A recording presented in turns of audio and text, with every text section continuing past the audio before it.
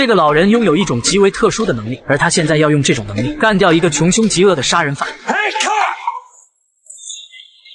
老人被罪犯一枪打爆了头，但随着画面一转，他还保持着之前开门的姿势。为了防止刚才的事情再次发生，老人这次藏在了车子下面。罪犯这时也刚好走了过来，就在他要一枪干掉老人时。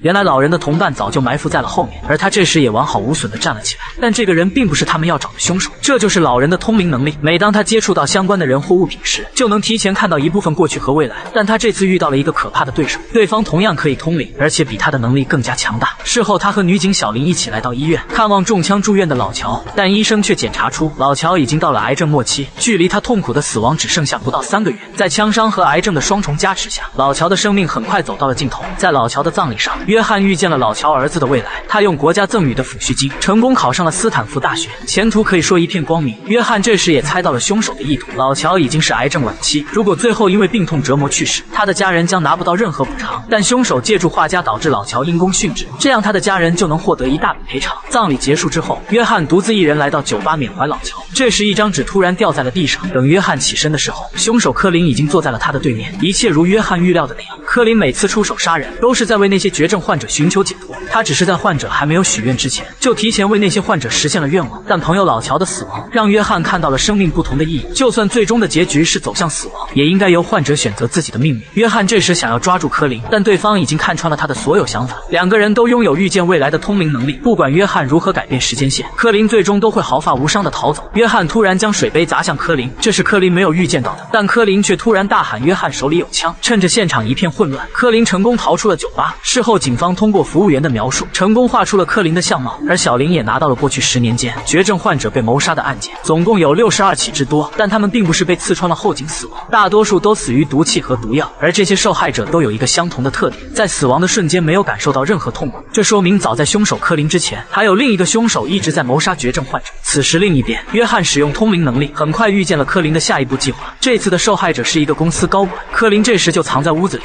此时，约翰也同样跟了过来，他拿出手枪打算说服科林。这时，那名公司高管突然走了进来，男人还完全不知道发生了什么。科林却告诉他即将患上神经纤维瘤，而这种疾病具有百分之五十的遗传性。但就在明天，他的女友就会怀上他的孩子。可很不幸的是，他的孩子也会染上这种疾病，而这也即将毁掉三个人的生活。他现在所做的一切都是在帮绝症患者解脱痛苦，但科林并没有杀死对方。约翰在告诉男人马上去医院后，跟着科林追了出去，而两个人都知道，今晚他们中必须有一个人死亡才会结束。